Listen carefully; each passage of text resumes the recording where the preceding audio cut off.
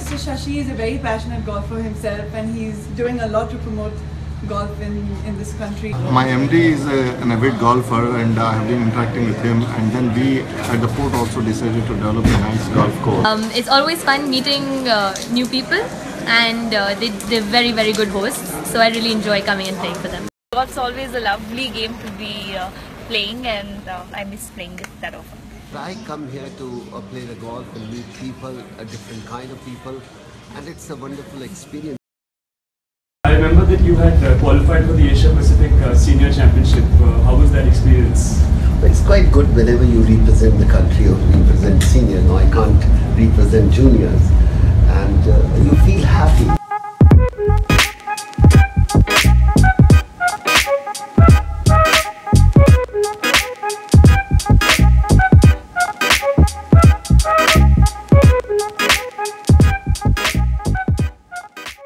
Now the posture is very important. You need to you need to bend bend over your hips a little bit, stay grounded because at this posture you need to maintain balance to generate a lot of power and speed.